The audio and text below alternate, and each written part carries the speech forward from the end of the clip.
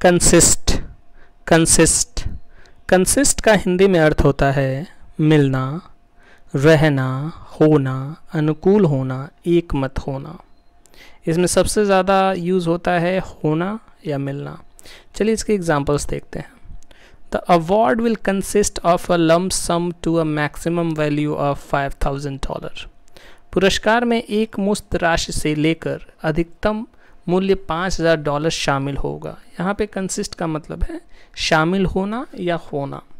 दूसरा एग्ज़ाम्पल है many villages in Mali consist of mud huts Mali के कई गाँवों में मिट्टी की झोपड़ियाँ हैं। यहाँ पे कंसिस्ट का मतलब है होना या हैं।